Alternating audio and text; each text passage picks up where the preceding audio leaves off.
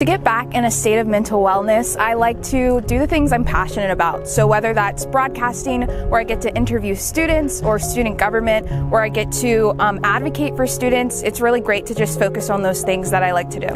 Um, it kind of puts things into perspective of what really matters. So, if I'm stressed about school, um, I can come back to my passions, um, listening to people in the community and talking about other issues that I'm passionate about.